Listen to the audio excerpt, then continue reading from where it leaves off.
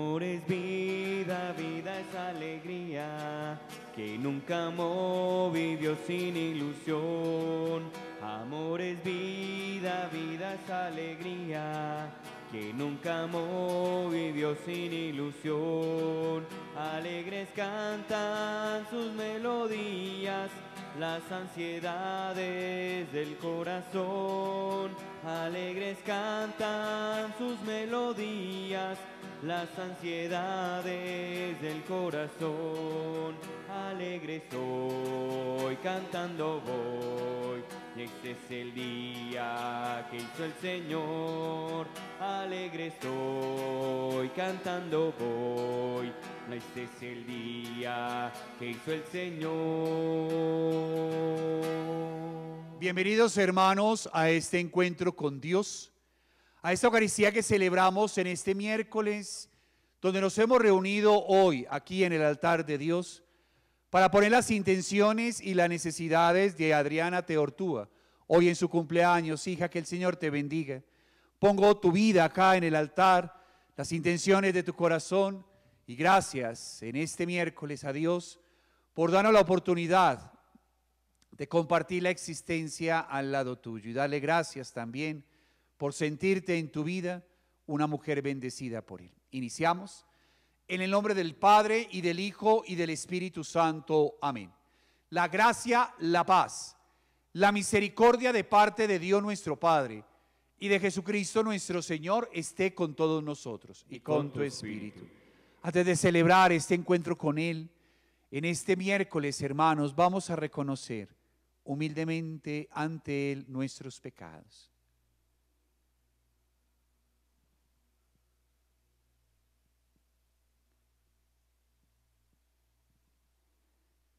Señor, ten misericordia de nosotros, porque hemos pecado contra ti. Muéstranos, Señor, tu misericordia y danos tu salvación. Dios Todopoderoso, tenga misericordia de nosotros, perdone nuestros pecados y nos lleve a la vida eterna. Amén. Oremos. Oh Dios, cuya providencia es inefable en sus designios, humildemente te rogamos que alejes de nosotros todo mal y nos concedas todo lo que contribuya a nuestro bien. Por nuestro Señor Jesucristo, tu Hijo, que contigo vivir reina en la unidad del Espíritu Santo y es Dios por los siglos de los siglos. Amén. De la segunda carta del apóstol San Pablo a Timoteo. Pablo, apóstol de Cristo Jesús por designio de Dios, llamado a anunciar la promesa de vida que hay en Cristo Jesús. A Timoteo, hijo querido, te deseo la gracia, misericordia y paz de Dios Padre y de Cristo Jesús, Señor nuestro. Doy gracias a Dios, a quien sirvo con pura conciencia, como mis antepasados, porque tengo siempre su nombre en mis labios cuando rezo de día y de noche. Por esta razón te recuerdo que reavives el don de Dios que recibiste cuando te impuse las manos, porque Dios no nos ha dado un espíritu cobarde, sino un espíritu de energía, amor y buen juicio. No te avergüences de dar testimonio de nuestro Señor Jesucristo y de mí, su prisionero. Toma parte en los duros trabajos del Evangelio, según la fuerza de Dios. Él nos salvó y nos llamó a una vida santa, no por nuestros méritos, sino porque desde tiempo inmemoriable Dios dispuso darnos su gracia por medio de Jesucristo. Y ahora esa gracia se ha manifestado al parecer nuestro Señor Salvador Jesucristo, que destruyó la muerte y sacó a la luz la vida inmortal por medio del Espíritu. De este Espíritu nos ha nombrado heraldos, apóstoles y maestros. Y esta es la razón de mi penosa situación presente. Pero no me siento derrotado, pues sé de quién me he fiado y estoy firmemente persuadido de que tiene poder para asegurar hasta el último día el encargo que me ha dado. Palabra de Dios. Te, alabamos, Señor. A ti, Señor, levanto los ojos. A ti, Señor, levanto los ojos. A ti levanto mis ojos. A ti que habitas en el cielo, como están los ojos en los esclavos fijos en las manos de sus señores. A, ti, Señor, levanto mis ojos. Como están los ojos de la esclava fijos en las manos de su señora Así están nuestros ojos en el Señor Dios nuestro esperando su misericordia. A, ti, Señor, levanto mis ojos. Cantaré al amor que hay en mí, porque me amas y estás aquí. Pones paz en mi corazón, con tu amor feliz yo seré. Aleluya, aleluya,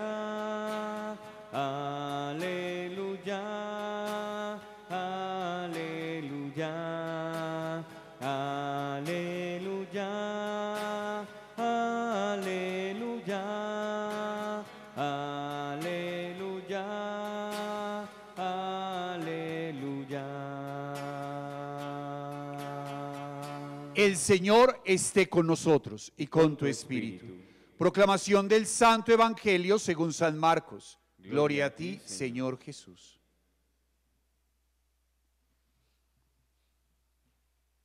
En aquel tiempo se acercaron a Jesús unos saduceos, de los que dicen que no hay resurrección, y le preguntaron, Maestro, Moisés nos dejó escrito, si a uno se le muere su hermano dejando mujer, pero sin hijos, cásese con la viuda y dé descendencia a su hermano. Pues bien, había siete hermanos.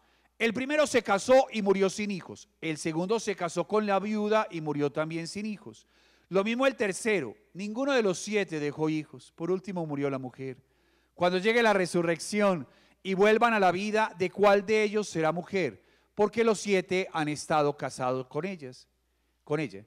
Jesús le respondió, ustedes están equivocados, porque no entienden la escritura ni el poder de Dios. Cuando resuciten, ni los hombres ni las mujeres se casarán, porque serán como ángeles del cielo. Y a propósito de que los muertos resucitan, ¿no han leído en el libro de Moisés, en el episodio de la zarza, lo que dijo Dios? Yo soy el Dios de Abraham, el Dios de Isaac, el Dios de Jacob. No es un Dios de muertos, sino de vivos. Ustedes están muy equivocados. Palabra del Señor. Gloria a ti, Señor Jesús. Y qué bendición, hermanos, estar con ustedes en esta mañana, en este, perdón, en este miércoles, día del Señor, y poder celebrar juntos la Eucaristía y escuchar este mensaje que nos acaba que acabo de leerles a través de la lectura de la palabra en este día. ¿Saben qué es lo esencial de esto, hermanos? Que ustedes, nosotros, todos, seguimos a un Dios vivo. ¿Qué significa que sigamos a un Dios vivo? Que cada vez que yo me acerco a Él, Él me da a mi vida. Eso significa que yo me levanto con la fuerza de Dios, como Pedro le dice, mire, Timoteo, levántate, no se te olvide que es la fuerza de Dios en mi corazón, que te levantas todos los días en medio de las vicisitudes de la existencia, en medio de los problemas de la vida, en medio de los afanes de la existencia y en medio de los miedos de la vida, como Él nos da la fuerza necesaria para levantarnos y nos da la fuerza necesaria para estar vivos. Cuando Jesús está vivo es para darle vida a usted y a mí en la existencia. Y más, cuando hoy nos hemos reunido en este miércoles a celebrar el cumpleaños tuyo, Adriana, poder darle gracias a Dios porque tú, hija mía, eres un vivo reflejo y una vivo, un vivo reflejo del testimonio de lo que Dios hace cuando uno se acerca a Él. Eres una mujer que has experimentado en tu vida la alegría de saberse y sentirse levantada en medio de las vicisitudes de la existencia.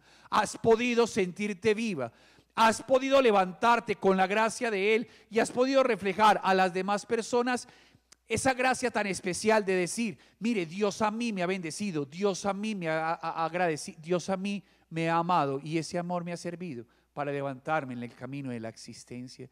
Te bendigo, hija, en, esta, en este miércoles. Le doy gracias a Dios por un año más de vida que Él te regala. Bendigo tu vida. Bendigo el don tan maravilloso de lo que significa estar viva.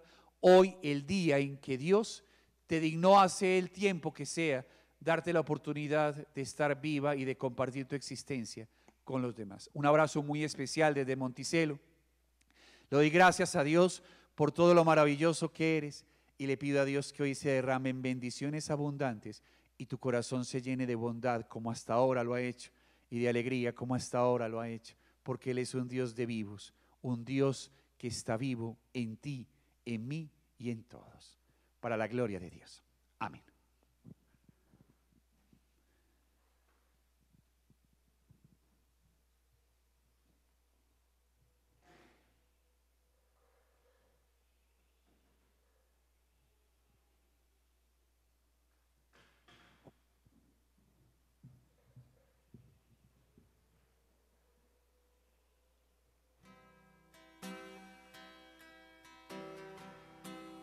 Te doy lo más fresco del fruto de mis labios. Te doy lo más fresco, lo que hay en mi corazón. Te doy lo más fresco del fruto de mis labios para ti. Señor Jesús.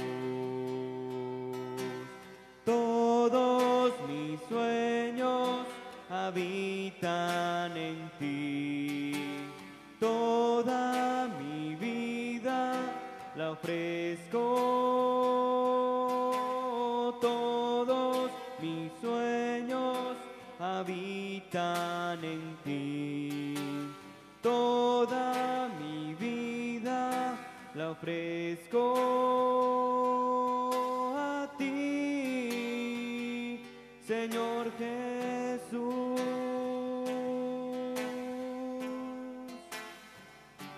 Señor Jesús. Oremos hermanos, para que este sacrificio mío y vuestro sea agradable a Dios Padre Todopoderoso. El Señor reciba de mis manos ese sacrificio para la alabanza y gloria de su nombre, para nuestro bien y el de toda su santa iglesia. Confiados en tu misericordia, Señor, venimos a tu altar con nuestras ofrendas, para que estos misterios que celebramos nos renueve con la acción purificadora de tu gracia. Por Jesucristo nuestro Señor. Amén. El Señor esté con nosotros y con tu espíritu. Levantemos el corazón, lo tenemos levantado hacia el Señor. Demos gracias al Señor nuestro Dios. Es justo y necesario. En verdad, es justo y necesario nuestro deber y salvación. Darte gracias siempre y en todo lugar, Señor Padre Santo, Dios Todopoderoso y Eterno, porque unidos en la caridad celebramos su muerte, con fe viva proclamamos su resurrección y con firme esperanza anhelamos su venida gloriosa. Por eso con los ángeles y los santos proclamamos tu gloria diciendo, Santo, Santo, Santo es el Señor Dios del universo. Llenos están el cielo y la tierra de tu gloria. Osana en el cielo. Bendito el que viene en nombre del Señor. Osana en el cielo. Santo eres en verdad, Señor, fuente de toda santidad. Por eso te pedimos que santifiques estos dones con la efusión de tu Espíritu, de manera que sean para nosotros cuerpo y sangre de Jesucristo nuestro Señor, el cual, cuando iba a ser entregado a su pasión, voluntariamente aceptada, tomó pan, dándote gracias, lo partió y lo dio a sus discípulos, diciendo, tomad y comed todos de él, porque esto es mi cuerpo que será entregado por vosotros.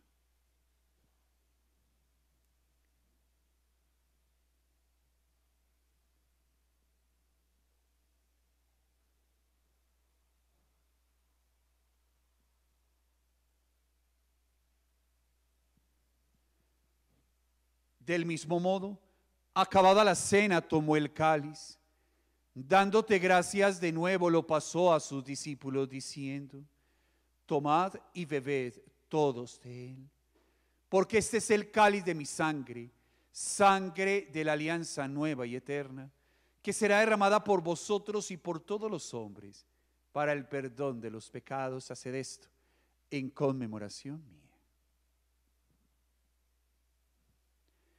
Estamos ante la presencia de Dios, hermanos. Él está aquí.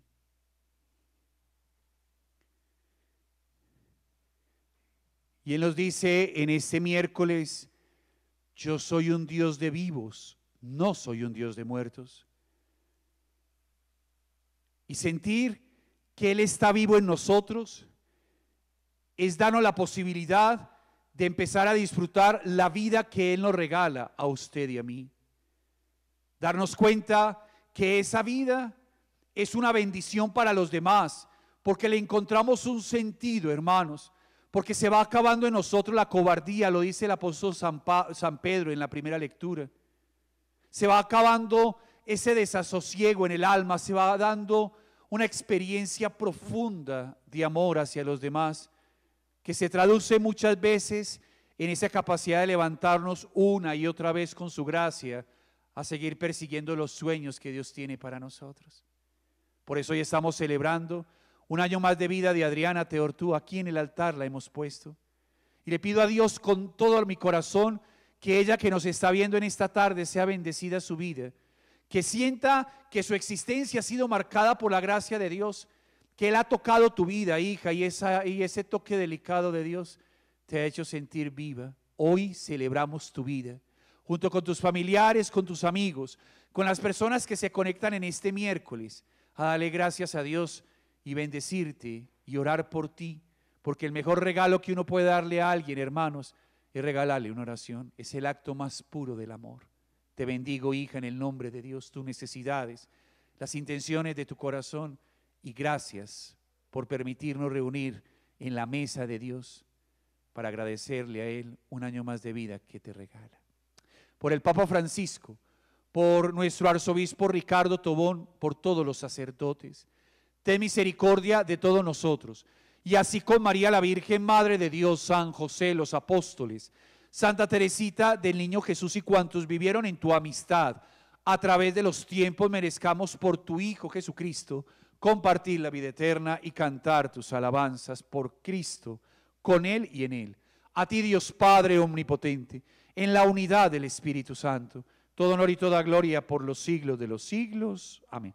Fieles a la recomendación del Salvador y siguiendo su divina enseñanza nos atrevemos a decirle, Padre nuestro, que estás en el cielo, santificado sea tu nombre, venga a nosotros tu reino, hágase tu voluntad en la tierra como en el cielo. Danos hoy nuestro pan de cada día, perdona nuestras ofensas como también nosotros perdonamos a los que nos ofenden. Y no dejes caer en la tentación y líbranos de todo mal. Líbranos, de todos los males y concédenos la paz en nuestros días, para que, ayudados por tu misericordia, vivamos siempre libres de pecado y protegidos de toda perturbación, mientras esperamos la gloriosa venida de nuestro Salvador Jesucristo. Tuyo es el reino, el poder y la gloria por siempre, Señor. Señor Jesucristo, que dijiste a los apóstoles, la paz os dejo, mi paz os doy. No tengas en cuenta nuestros pecados, sino la fe de tu iglesia. Y conforme a tu palabra, concédenos la paz y la unidad. Tú que vives y reinas por los siglos de los siglos. La paz del Señor esté siempre con nosotros. Para ti, Adriana, para tu familia, Jorge Iván, la paz. Que el Señor los bendiga.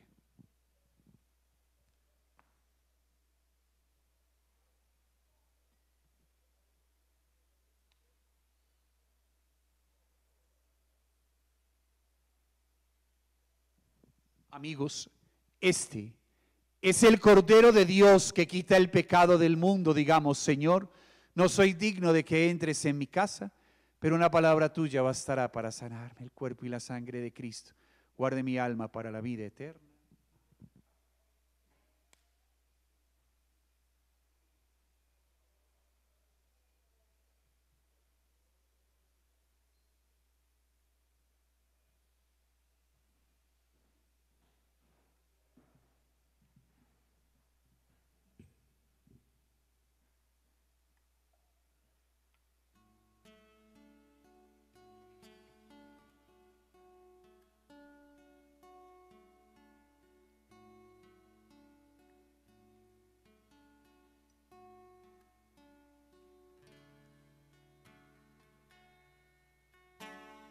Tu fidelidad es grande, tu fidelidad incomparable es. Nadie como tú, bendito Dios.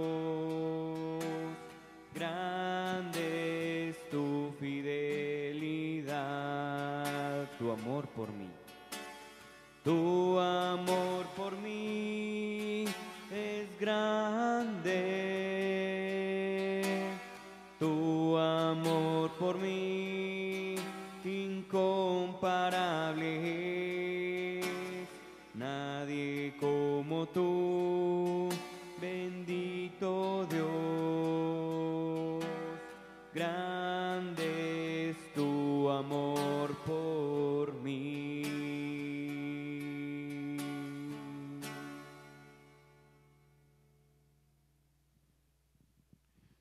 Encomiendo, Adriana, tu vida a la protección de la Santísima Virgen María.